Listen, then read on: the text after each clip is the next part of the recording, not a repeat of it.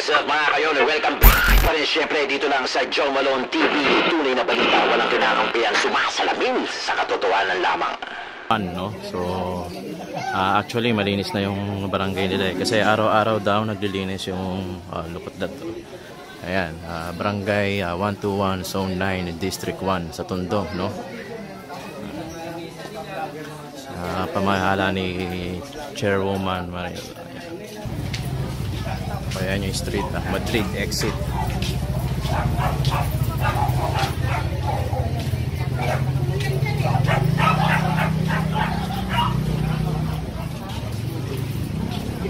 mga yon kasama nga natin pala si ah, si General Sukat yon saka si Sir Richard Valencia no? So kasama natin yan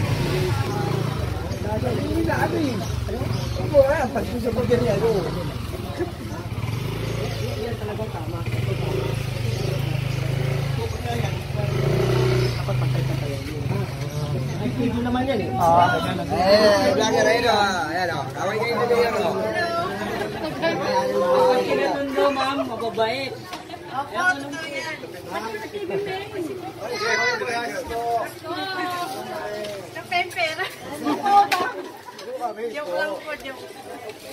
si Sir Richard Valencia Dito po yung sakop namin sa kanto na yan. hanggang kabila Ayan po, yung kanto na yan. ayun may told na blue Pag, oh, pagdating po niyan, barangay 68 na po yan. 68 ah, okay ibang barangay na yon Ako, ibang barangay na po yan, 68 naman po yan. okay Ayan, nandito ang boundary na kami. Papunta rin sa eskinita na to. ah yung paikot na gano'n nagasaka Sa eskinita, ah kami. ah ito iba na Iba na yan, 68. ah okay doon sa barangay no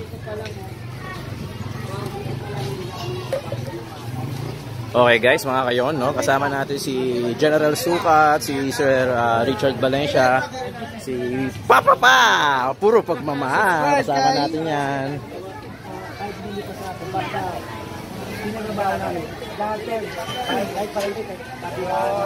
Para mabilis kasi inaanapan tayo na. Oh. Yan, sa barangay yan. O, ito hindi sa barangay.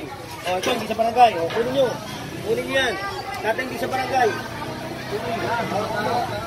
Ah, tao. Sige, kunin nyo ito. Para bang ano, makikip natin to. Ito. Ba chairman dito? Tawag. Huwag ginawa nyo yun, ate. Huwag gina. Kunin nyo na. Nakatingin ko na kayo. Sige na, sige na. Itawan nyo na yan. Ha? Sige na, kunin nyo na.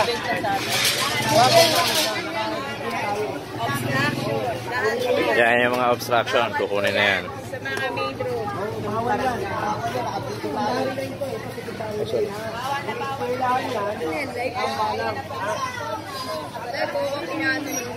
Video. Lang. Kunin nyo na yan. Kunin nyo na. Sige na. Yan, pinapakuha na guys na ni General Sukat na. Kasi obstruction pa rin yan guys, no? So, ayun yung truck, no? Ikakarga na doon sa truck yan.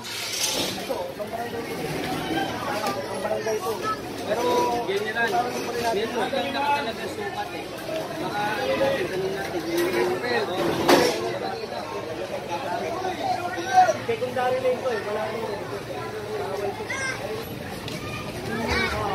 Sige na. Ano? Puno na rin kasi kami kaya hindi namin mayakot lahat. Kaya pinamupuno-puno na yung truck. Ayan guys, oh, so hinahakot na nila yung mga obstruction, no? So, nilalagay na sa truck. Ayan. So, yan yung mga nakakuha na. Actually, puno na eh, no? Mga kayon, no? So, ayan. Ah, hinahakot na yan. Ah, sa pag-uutos ni General Sukat, no?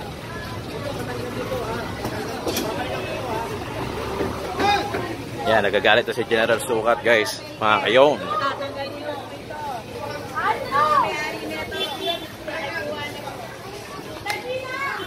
O, yung mga motor, uh, nire-request ni General Sukat na tanggalin.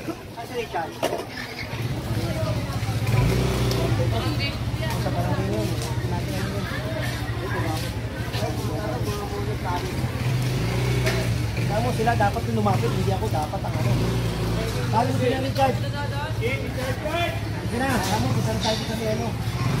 Hindi kay wala wala tayo sa ano. Ha? Ha, dami natin barangay. Yan guys, oh, dami na, oh. dami na nakakuha.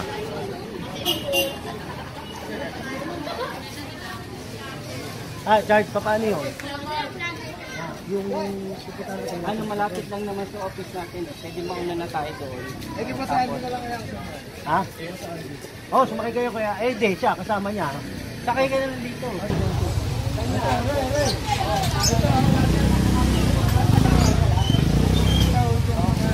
Pati yan, ha? Pati lang yan. Kasi sabi nila gusto maluwag. Tatanggalin ko yan. Ito, ito kasi yung bakod na ito sa eskwela. Okay lang, okay na. Hindi mo gagamit yan. Ako nang bahala, ha? Ito, sa eskwela to. Oh, idikit natin doon sa may bangketa. Kasi ma- Ha? nakakasakit din eh. Natuloy nga may daanan, hindi naman nagagamit. Oh, kaya nga, akong bahala, Kasi ha? kami naapurbahan pero yan hindi naapurbahan. Akong bahala. Pagdating ko rito, ha? Kasi may pupuntahan Kaya kami. gusto ko eh. Kasi patas yan, di ba? Oo, oh, executive order yan. Tama. Ha? Hindi pwedeng magiging lang. pili. Walang pipili. Kasi matagal na kami dito, antigo na kami. Tama. schedule Panahon pa natin. kami ni ano, Oh. Okay, ah, siya, pa-schedule kayo, ha? mas Ngayon, maganda pakausap nyo na yung eskwela kung maitatanggal nila yun. Tanggal yun kasi yan. Pagbalik, pagbalik ko rito, che, pagbalik namin itong grupo ko, ha? Oh, babaklasin namin yan. na kasi pag-uusap yan. Oh. Tapos Kasi secondary link to eh. Visual yun.